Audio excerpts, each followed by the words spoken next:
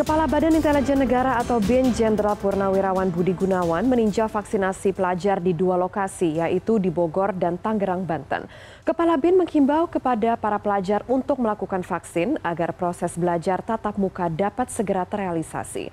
Menurut Kepala BIN, tidak ada proteksi yang lebih efektif melawan COVID-19 selain dengan vaksin itu sendiri.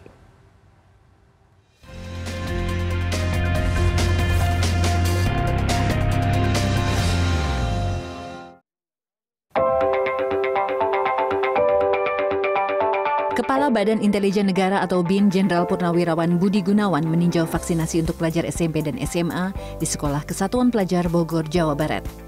Dalam kunjungannya ini, Budi Gunawan mengatakan perbandingan kasus aktif terhadap pelajar yang ada di Indonesia yaitu 9 persen dari seluruh total kasus.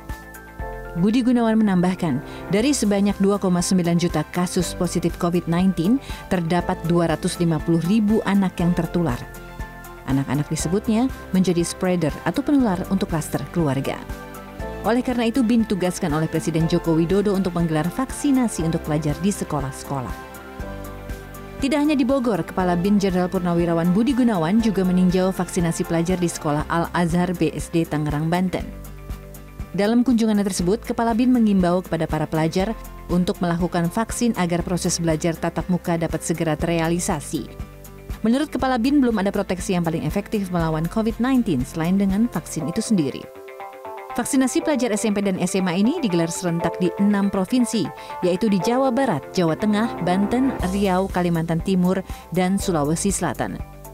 Selain itu, para pelajar juga mendapatkan paket vitamin untuk menunjang imun.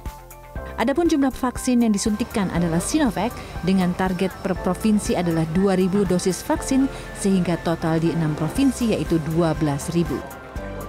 Dengan digencarkannya program vaksinasi untuk pelajar SMP dan SMA yang digelar BIN, diharapkan dapat memutus rantai penyebaran COVID-19 serta mengurangi resiko angka kematian karena COVID-19 di tanah air.